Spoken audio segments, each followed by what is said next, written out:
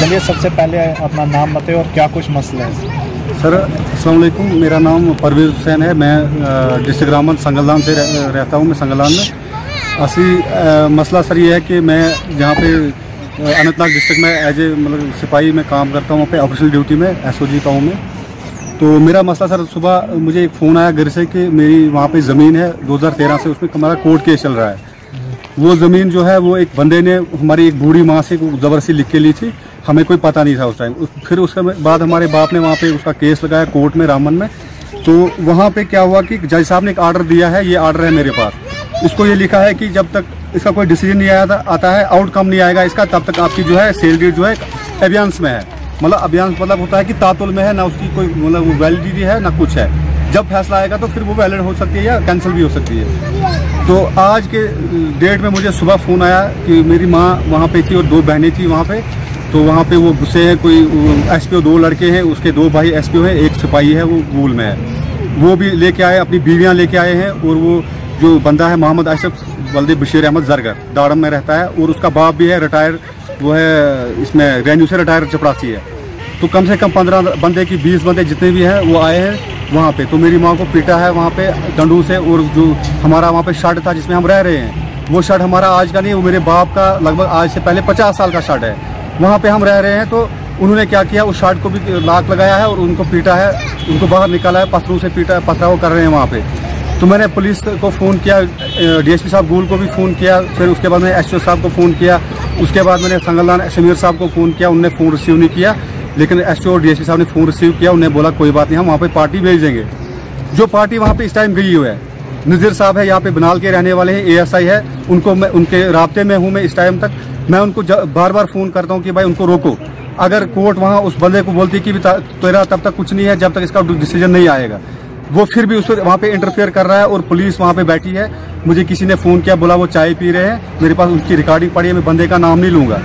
मेरे पास उसकी रिकॉर्डिंग अगर रिकॉर्डिंग आप बोलोगे, मैं सुना सकता हूँ कि भाई पुलिस बैठी थी वहाँ पे, वो चाय पी रही थी और वो जो बंदे हैं, वो मेरी माँ और मेरी बहनों को पीट रहे थे।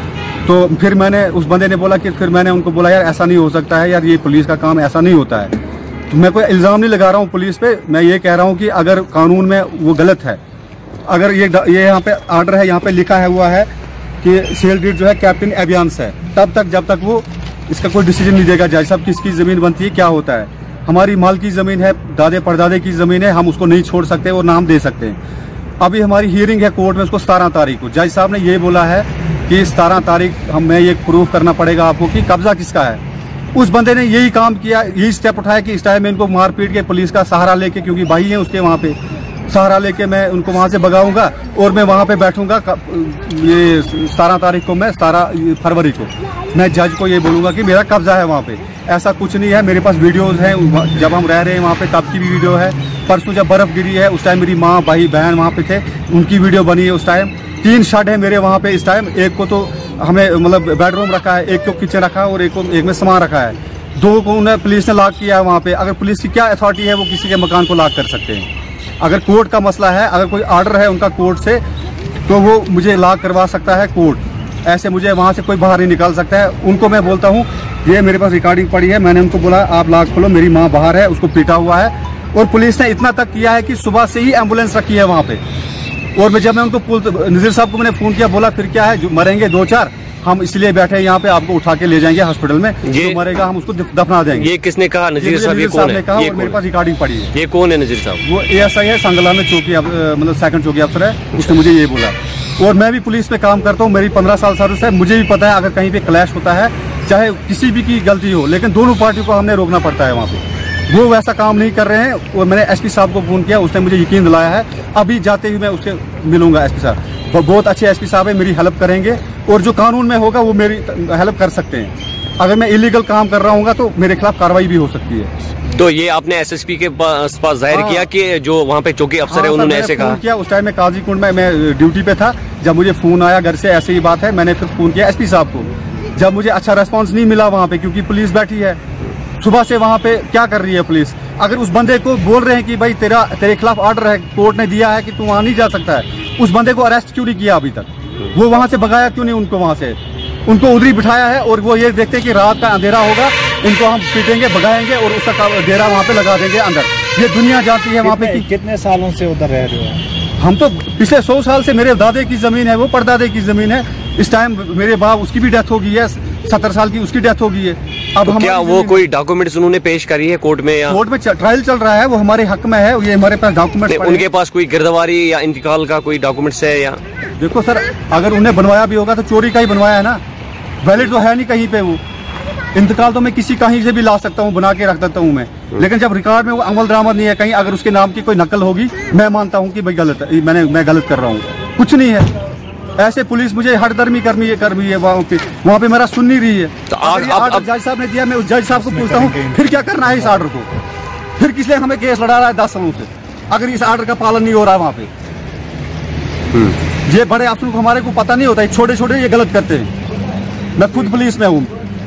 मुझे पता है वो क्या गलत कर रहे हैं वहाँ पे। और वो ज़बरदस्ती कर रहे हैं वहाँ पे।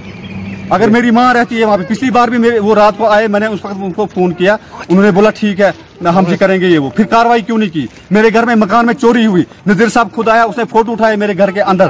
फिर कार्रवाई नहीं की मेरे भाई को पीटा फिर उसको कार, वो उसके वीडियो है मेरे पास नहीं कार्रवाई की। बोला फिर क्या हुआ? हमने उनको थप्पड़ छप्पड़ मारे बैठो चुप करके।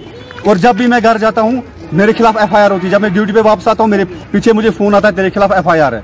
किस चीज़ की एफआईआर है कोई पता नहीं होता है। मैं डीजी साहब से अपील करता हूँ, मैं भी आपका एक बेल्ट फोर्स का जवान हूँ। और ऑपरेशनल ड्यूटी में दिन रात हम मेहनत करते हैं। एसएसपी साहब जो रहा हमारे बहुत अच्छे हैं, मैंने उनकी सुनी है। बहुत अच्छे हैं वो हेल्पफुल है। और कानून में, ये नहीं मैं उनको कोई वो नहीं कर रहा हूँ कि भाई मेरे हेल्प करें वो। कानून में जो होगा वही करें वो।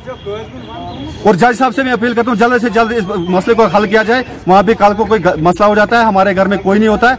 मेरे चार भाई हैं, वो जम्मू में होते हैं। इस टाइम वो मैंने फ़ोन किया, वो जम्मू से आ रहे हैं। मैं खुद यहाँ पे ड्यूटी होता हूँ और मेरी बीवी है यहाँ पे, साथ में, बच्चे साथ में इसी वजह से, क्योंकि वो भाई, वो वो बंदा जो है, वो मिलिटेंट का भाई है। और एक्टिव मिलिटेंट इस टाइम पाकिस्तान में है या यहाँ पे, वो मुझे नहीं पता है। उसके बाद उसने शादी की है, वो की है अनंतनाग में।